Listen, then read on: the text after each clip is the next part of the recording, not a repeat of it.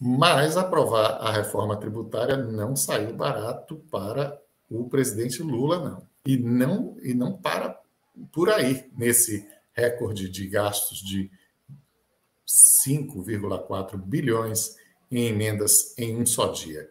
Agora foi 5,4, mas em outros momentos já foi, inclusive aqui, olha. É,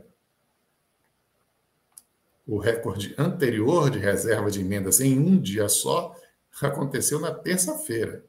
Então, terça-feira bateu o recorde com 2,1 bilhões.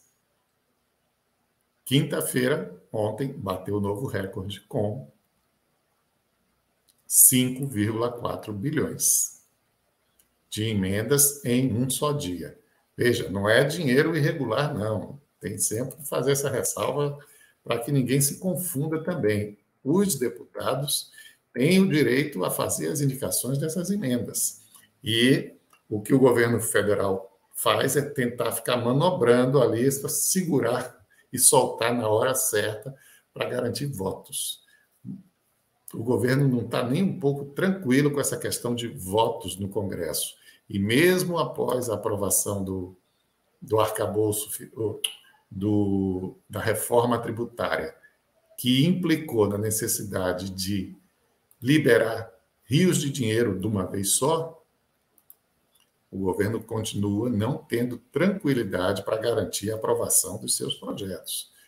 E o Centrão já está de olho aí. Ó. O Ministério do Turismo finalmente saiu, é, foi declarada finalmente a saída da ministra Daniela que estava no Ministério do Turismo, é, era do União Brasil, mas saiu do União Brasil para ir para os republicanos.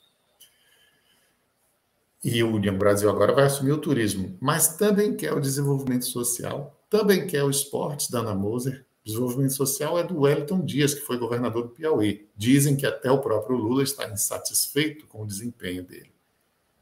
E aí o Centrão quer.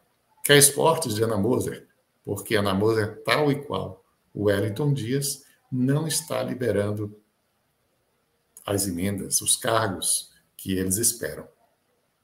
E quer ainda a Caixa Econômica Federal. E quer ainda a Embratur, que está com o Marcelo Freixo, do PT do Rio de Janeiro.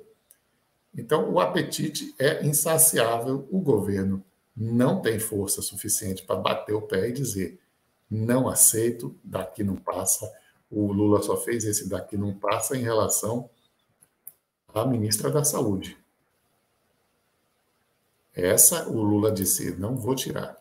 Nízia é a escolha do Lula, o Ministério da Saúde é a opção do Lula. E é importante, até na verdade, que ele mantenha essa determinação, porque se até a Nízia Trindade, o Centrão, conseguir tirar do lugar para se apropriar do cargo, o que é que o Lula vai conseguir segurar? Né? Ele tem que estabelecer uma barreira de onde não dá para passar, porque senão acaba dando a impressão do governo ser fraco.